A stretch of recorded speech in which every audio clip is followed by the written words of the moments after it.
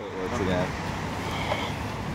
Okay. Okay, alright, so we got a Kryptonite Evolution uh, Series 2 Mini.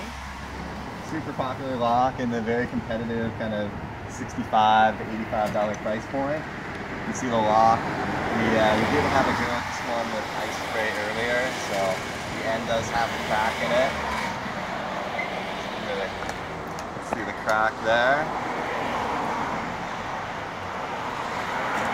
So we won't be attacking that part of the lock. We're gonna try cutting it with bolt cutters. Secure the lock again here. Solid. Anton's gonna go at the lock with some Russian magic. We'll try and you show. try the small ones first, eh? I, it's not gonna do anything, I'm pretty certain of that.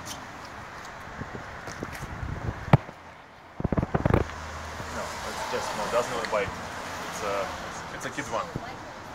Bolt cutters aren't even getting any kind of purchase on the lock at all. There's a scratch.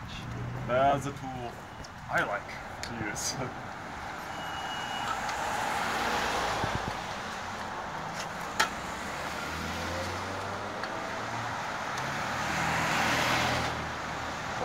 Not really much happening.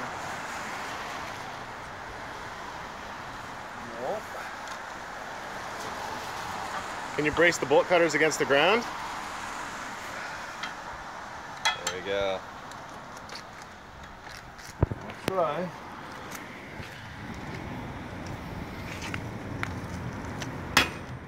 And this is maximum leverage.